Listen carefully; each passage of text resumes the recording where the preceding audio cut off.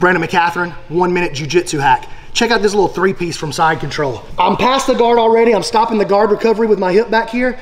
I run through and I catch the scapula with my grip here. And now I open my forearm to oppose his chin. Turn your chin back the other direction. And now I'm gonna pull his elbow and shift my hips. And I'm gonna lean my, I'm not pushing, I'm not pushing him with my forearm. I'm setting up a structure and I'm letting my body weight lay on that. He's gonna frame the other side. He doesn't like it. He's gonna start pushing. And when he does, I slip this one to the inside. And now both of my elbows are here. Boom, boom, boom. He pushes, starts to come up, stuff his head, step into the hole, and finish the straight arm lock.